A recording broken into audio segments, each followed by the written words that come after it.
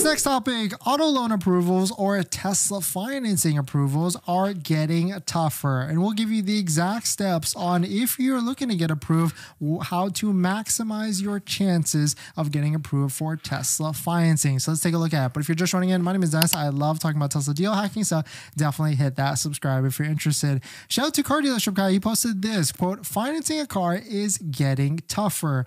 Auto credit availability declined again in January and now at its lowest point since August of 2020. And it's not just subprime. If you don't know what subprime is, that's basically people with a lower credit, like 500 to 600, that's going to get a higher interest rate. So if you're above that, you're considered prime, which is like 700 to 800.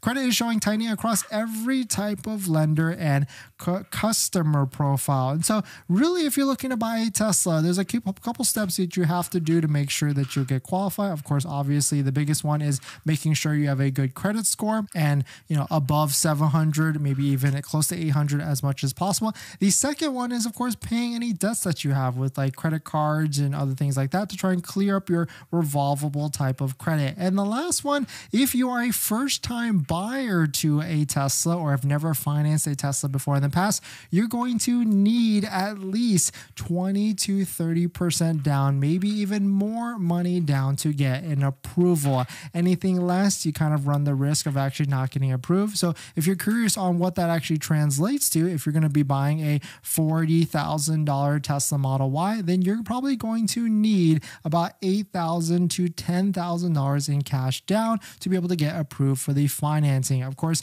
leasing what usually is an easier approval because you can do a lower amount down and it's really not, you're not really financing the whole amount, even though you still kind of are. So definitely if you're having trouble with financing and not getting approved, maybe consider switching to a lease to build up your credits because, or build up your credit history because yes, you can do a two year lease or a three year lease, but you're going to, as long as you make on time payments, you're going to get the credit or the history of paying those payments and then you can build up your credit and then finance a vehicle in the future after that. But definitely some pretty interesting stuff. You know purchasing a vehicle is going to get tougher and tougher. And so that's really where making sure you have the best credit from the get-go is going to give you the best starting point. But definitely some pretty interesting stuff. Let me know what your thoughts on it